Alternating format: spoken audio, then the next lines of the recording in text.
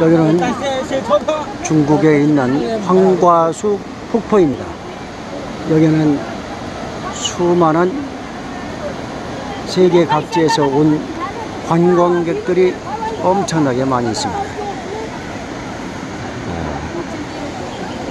우리 서울에서도 예오에 중학교 동창들의 모임이 중국에 있는 황과수 폭포에 왔습니다.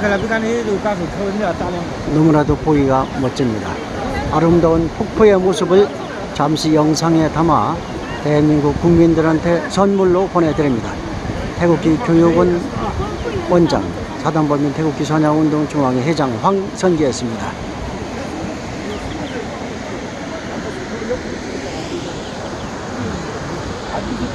아,